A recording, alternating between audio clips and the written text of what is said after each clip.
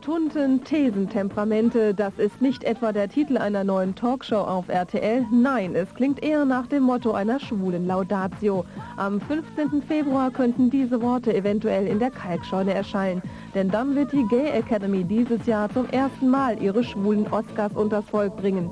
Nominiert sind die heißesten und berühmtesten Drag Queens der Stadt. Unter anderem in der Kategorie Beste Lügnerin oder übelste Hautkonsistenz.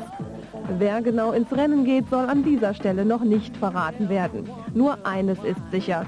Die Dankesreden werden wohl einen Hauch verzickter über die Bühne gehen, als wir es von einem Spielberg gewohnt sind. Einen Gesamtausgar sollte man in jedem Fall für Mega-Outfits und Make-ups reservieren. Wer also mit der schlechtesten Haut tanzen will oder sich auf die Jagd nach dem verlogensten Schatz begeben möchte, kann dies nur am kommenden Montag. Und dann wird es wohl auch nicht nur heißen And the Winner is, sondern auch und die hässlichste Tunte ist... Ja, das wird sicher ein sehr, sehr buntes Ereignis. Bei mir im Studio ist jetzt einmal Jerome Castell. Hello, Schön, dass du da bist. Und Martina Avisi. Schön, dass du da bist. Sag mal, für welche Kategorien, Kategorien heißt das, Ja. seid ihr denn nominiert? Ich gar nicht. Doch, doch, ich bin das perfekteste Bühnengetrampel. Hm. Mal sehen. Also wer trotz heftigster Bemühungen nie von der Bühne gestürzt ist beim Tanzen.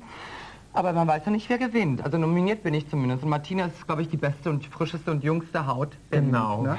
Hey, Mit Werbung. hey, nicht schlecht. Mit Haben da schon viele angerufen? Hm. Sag mal, wie ist, denn, 0177. wie ist denn Tosca überhaupt entstanden? Ja, wir haben uns überlegt, äh, dass eben Drupal und Romy und die ganzen Leute, die schon seit Jahren auf der Bühne stehen und Filme gemacht haben, ohne Ende, die haben ja nie einen Oscar bekommen. Ja? Ja. Die wurden ja nicht mal nominiert. Und wir sind ja eigentlich auch die Showpferde überhaupt, ne? Immer glamourös, immer, ne? Over the top. Und ich dachte, dann müssten wir uns eigentlich mal selber einen Oscar vergeben. Und dann heißt der T-Oscar, weil das ist dann der Tunten, Transen, Transvestiten, Klar, Shrek Queen, klar, klar. Oscar, Tosca. Wie muss man sich das vorstellen? Wie Ja. wird das ablaufen? Ist das wirklich so wie in Los Angeles mit ganz Mit vielen Limousinen Glamour, und und so weiter? Ja? Ja, Ich hoffe, dass alle Zuschauer Zumindest kommen, für ja. den Ne? Glamour ist auf jeden Fall gesorgt an dem Ja, Abend. genau. Ist dann vorher auch so Friseurtermin angesagt und Auf jeden alles? Fall.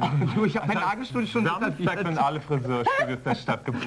Tut mir leid, am Montag findet es statt, ja. Also ich hoffe, dass die Leute eben wirklich mit ihren Limousinen vorfahren. Da gibt es eine dreistündige Show, es geht halt also alles auch über Video, über Videobeamer, werden sehr viele Filmausschnitte gezeigt, in der Filmverspiel ist ja klar. Klar. Und dann gibt es eben die Nominees, aber wir verarschen es natürlich auch nicht. Wir müssen uns ja über uns selber ein bisschen lustig machen, mal mit so einem zwinkernden Auge. Wisst ihr schon, was sie anzieht? Oder bis zur letzten Sekunde so, oh ja, Gott, das, nee, das, das, genau, das. genau, genau Bis so. zur letzten Bis zur letzten Sekunde, ja. Also Mit oder nicht? Ich habe Negligé oder Haarersatzteile Understatement oder Overdress, ich weiß auch nicht. auf jeden Fall für Sommermode, glaube ich. Ah, ja, naja, da bist du ja schon so ein genau. bisschen inspiriert, auf jeden Fall. Zu sehen ist, desto besser. Skandalös.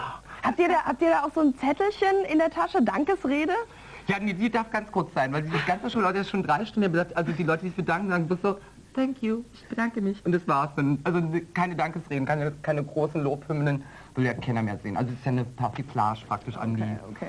Also so als... Aber trotzdem, ich meine, obwohl es jetzt Persiflage ist, ist es so euer Traum, auch mal in so einem fetten Hollywood-Schinken mitzumachen? Was, was würdet ihr da gerne spielen? Gloria Swanson, Boulevard der Dämmerung. Partnerin von Leonardo DiCaprio. Ach, du wieder. Ist das, ist das Oder auch Brad so? Pitt. Ist das, Brad Pitt, ja. ist das so euer, euer richtiger Oscar-Kandidat Leonardo? Wobei der ist dieses Jahr überhaupt nicht nominiert, ne? Ich es glaube auch nicht nicht. genau. Nö, Dieses eigentlich Jahr- nicht. Johnny Depp, finde ich süßer. Aber Die ist ja auch nicht... Ist der dominiert? Nominiert. Ja, nominiert. Nominiert auch, auch nicht. Nein. Nominiert. Nominiert. Okay. Nee, Oh eigentlich, nee, ich nicht. Also wer, wer wäre mein Kandidat für den Oscar? also Barbara Streisand sollte einen kriegen, unbedingt. Die Nase, die Stimme, unbedingt. Babsi.